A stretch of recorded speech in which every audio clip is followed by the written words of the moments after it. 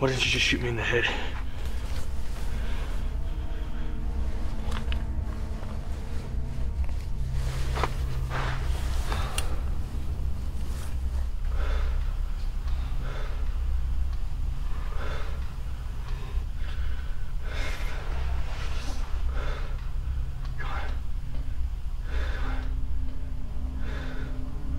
So, I guess I gotta shoot you now? Is that what it is? You're the leader. You know what you gotta do.